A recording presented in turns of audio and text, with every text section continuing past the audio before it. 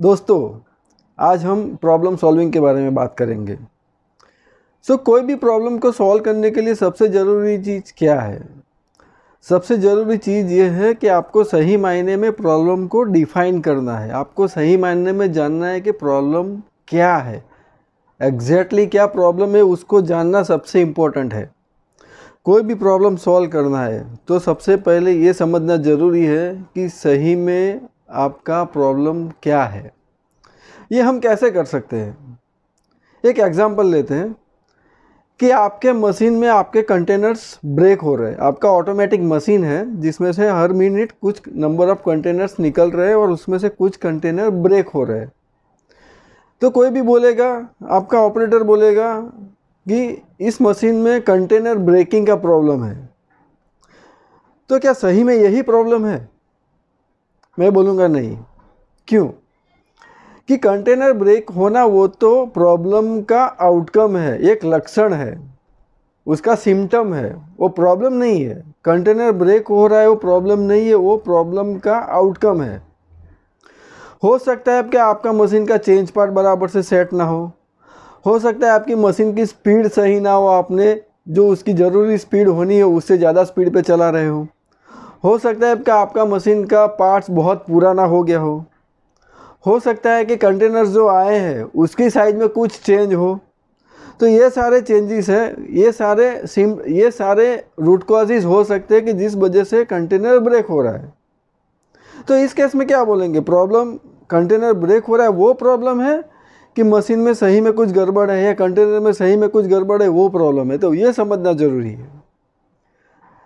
तो सबसे पहले, जब भी आपकी रूटीन लाइफ में जब कुछ प्रॉब्लम आता है, जब कोई बोलता है कि ऐसा ऐसा हो रहा है तो आप उसके पीछे का कारण समझने का ट्राई कीजिए। वो कारण समझिए क्या सही में जो बोला जा रहा है, वो प्रॉब्लम है कि उसके पीछे का कुछ अलग ही कारण है। दूसरा एग्जांपल लेते हैं नॉर्मल लाइफ एग्जांपल लेते हैं कि आप अपनी गाड़ी स्टार्ट करने गए और गाड़ी चालू नहीं हो रही है। आपका ऑटो स्टार्ट बाइक है, वो आप चालू करने गए और बाइक चालू नहीं हो रहा है। तो क्या हो सकता है? बाइक चालू नहीं हो रहा है, वो प्रॉब्लम है? नहीं। वो तो प्रॉब्लम का लक्षण है। प्रॉब्लम क्या है? हो सकता है गाड़ी में पेट्रोल ख़त्म हो गया हो बाइक में पेट्रोल ख़त्म हो गया हो। हो सकता है उसकी बैटरी डाउन हो गई हो।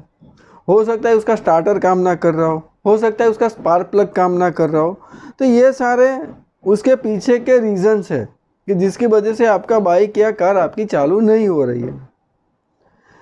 इसी थॉट प्रोसेस से आप काम करें। जब भी आपको प्रॉब्लम आता है तो आप यही थॉट प्रोसेस लगाएँ कि जो मुझे बोला जा रहा है, जो सामने दिख रहा है, वो लक्षण है, वो खुद प्रॉब्लम नहीं है। आपके प्रोडक्ट का कलर चेंज हो गया। आप बना रहे हो, आपका प्रोडक्ट का कलर होना चाहिए वाइट और आपका प्रोडक्ट का कलर आ रहा है येलो ही आ रहा है। तो वो प्रॉब्लम का लक्षण है, वो खुद प्रॉब्लम नहीं है। क्या हो सकता है? रीज़न क्या हो सकता है? हो सकता है कि जो रॉ मटेरियल आया है, उसकी प्रॉपर्टीज़ में कुछ चेंज हो। जब आप बना रहे थे प्रोडक्ट बन रहा था तो उसमें जो टेम्परेचर रखना चाहिए, वो टेम्परेचर नहीं रखा है। जितने टाइम के लिए उसको मिक्स करना चाहिए, उससे ज़्यादा टाइम या उससे कम टाइम मिक्स किया है। कुछ डालना भूल गए हैं। ये सब जो चीज़ें हैं, वो उसके पीछे के रियल रीजन्स है रियल प्रॉब्लम्स है। जब भी आप काम करते हो तो यही दिमाग में रखिए, यही ध्यान में रखिए कि जो सामने दिख रहा है, वो हो सकता है कि वो प्रॉब्लम नहीं है, वो जस्ट उसका लक्षण है। जैसे हमको कभी कभी बुखार आता है। तो बुखार आना प्रॉब्लम नहीं है। हो सकता है कि आपके बॉडी में कुछ इन्फेक्शन हो। हो सकता है कि आपने कुछ ऐसा ज़्यादा, आपने बहुत ज़्यादा घूम लिए बाज़ार में, बहुत ज़्यादा धूप में गए, जिसकी वजह से बॉडी रिएक्ट कर रही है और आपको बुखार आ रहा है। हो सकता है कि आपके बॉडी पे बैक्टीरियल अटैक हुआ हो तो बैक्टीरिया को रिमूव करने के लिए बॉडी ने अपना टेम्परेचर बढ़ाया है। सो so, ये सब उसके साइंटिफिक रीजंस है। बुखार प्रॉब्लम नहीं है। प्रॉब्लम हो उसके पीछे का कुछ अलग ही रीज़न हो सकता है। जब भी घर में कुछ उपकरण बिगड़ जाता है फॉर एग्ज़ाम्पल आपके फ्रिज में कूलिंग आना बंद हो गया। तो क्या कूलिंग आना बंद हुआ वो प्रॉब्लम है? नहीं। हो सकता है उसमें से गैस उड़ गया हो। हो सकता है उसका कॉम्प्रेसर सही से काम नहीं कर रहा हो। तो ये सारे रीजंस है कि जिसकी वजह से कूलिंग नहीं आ रहा है। तो कूलिंग ना आना प्रॉब्लम का लक्षण है। गैस ख़त्म हो जाना या कंप्रेसर का काम करना बंद कर देना, वो उसके पीछे के रीज़न हो सकते हैं। और उसके पीछे और भी रीज़न हो सकते हैं। जैसे मैंने पहले एक एग्ज़ाम्पल दिया था कि पेट्रोल ख़त्म हो गया इसलिए गाड़ी चालू नहीं हुई। लेकिन पेट्रोल क्यों ख़त्म हुआ? हो सकता है कि आपने टाइमली डलवाना भूल गए हो। हो सकता है कि आपका जो पेट्रोल का इंडिकेटर है, वो काम नहीं कर रहा है कि जिसकी वजह से आपको पता नहीं चला कि सही में पेट्रोल ख़त्म हो गया है। तो रीज़न के पीछे के रीज़न उसके पीछे के रीज़न जब ढूंढते जाते हैं तो तब जाके आपको सही मायने में एक एक्चुअल रूट कॉज जिसको बोलते हैं या सही में जो प्रॉब्लम है, वो आपको मिलता है। इसके लिए क्या ज़रूरी है? इसके लिए ये ज़रूरी है कि जब आपके पास कोई इन्फॉर्मेशन आती है कि ये प्रॉब्लम आ रहा है तो आप उसके सारे पहलुओं पे ध्यान दें, सारे फैक्ट्स पे। ऑल पॉसिबल फैक्ट्स आपको कंसिडर करना है कि इसमें क्या क्या गलत हो सकता है कि जिसकी वजह से ये प्रॉब्लम हो सकता है। उसके लिए सिंपल वेज है सिंपल टेक्निक्स है, जो हमारी भाषा में हम बोलते हैं कि फाइव एम बोलते हैं सिक्स एम बोलते हैं कि आप इंसान की गलती ढूंढिए, या इंसान की वजह से कुछ हो रहा है। आप मटेरियल को चेक कीजिए कैसे क्या मटेरियल में ख़राबी थी। आप मशीन को चेक कीजिए क्या मशीन में कुछ तकलीफ़ थी। आप, आपकी जो मेथड है, आपका जो प्रोसीजर है, उसको चेक कीजिए कि प्रोसीजर सही है कि गलत है। उसमें क्या खराबी है। आपका आपका जो आसपास का वातावरण है, वो चेक कीजिए कि वातावरण में कुछ चेंजेस हो गए थे कि जिसकी वजह से ये कुछ हो रहा है। तो ये सब चीज़ें आपको ध्यान में रखनी है। दूसरा एक आता है टेक्निक बोलते हैं, जिसको five why analysis five why analysis मतलब आपने पूछा कि ऐसा हुआ है तो पूछो क्यों हुआ? तो बोला, ये इसकी वजह से हुआ। तो बोला, वो क्यों हुआ? तो वो उसके लिए हुआ। तो ऐसे पूछते जाते कि ये क्यों हुआ? इसकी वजह से हुआ तो वो क्यों हुआ? कि उसकी वजह से हुआ? वो क्यों हुआ? तो उसकी वजह से हुआ। जब आप ऐसे पाँच छह क्वेश्चन पूछते हैं तो आपको सही में आप एक निर्णय पे पहुँचते हैं कि सही में मुझे ये प्रॉब्लम था। एक एग्ज़ाम्पल है एयर क्रैश का। प्लेन क्रैश होते होते बच गया था। उसका एक एग्ज़ाम्पल है कि उसमें क्या हुआ था? कि चालू फ़्लाइट में, फ़्लाइट आसमान में उड़ रही है और जो पायलट के आगे का जो कांच होता है, जो विंड जो हम विंड शीट बोलते हैं, जो व्यू ग्लास होता है, वो एक कांच टूट के निकल गया। अभी इसके एनालिसिस हुआ, इसका रूट कॉज एनालिसिस हुआ।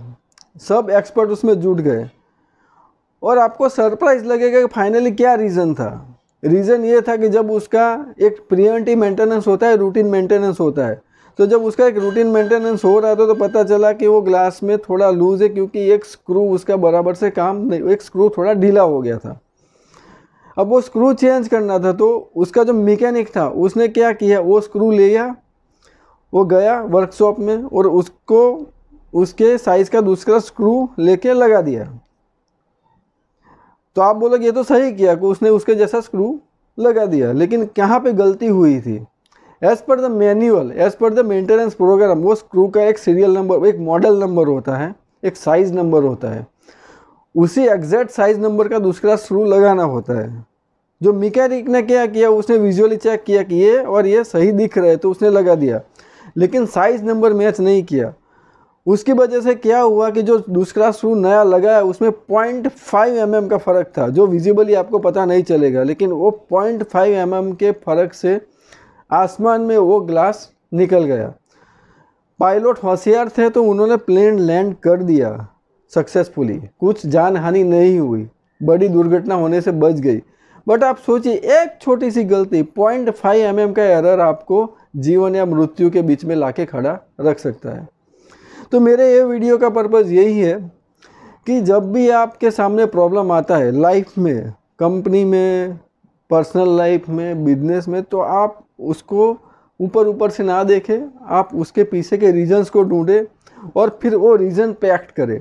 तो आपका प्रॉब्लम हमेशा के लिए सॉल्व होगा। आप ऊपर ऊपर से एक्ट करेंगे तो बार बार आता रहेगा। यही मेरा मैसेज है, ये ये वीडियो का कि आप प्रॉब्लम की तह तक जाएँ और उसको तह में जाके कम्प्लीटली हमेशा के लिए सॉल्व करें। ऊपर ऊपर से चीज़ें को एक्ट ना करें, ऊपर ऊपर से उसको सॉल्व ना करें। Thank you very much for listening Goodbye.